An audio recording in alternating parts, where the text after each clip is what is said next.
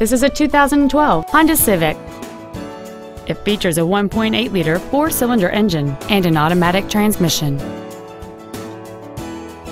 Features include a low tire pressure indicator, traction control and stability control systems, steering wheel mounted cruise control, CD player which is capable of reading MP3s, a passenger side vanity mirror, an anti-lock braking system, a passenger side airbag, rear seat child-proof door locks, heater vents for rear-seated passengers, and an anti-theft protection system.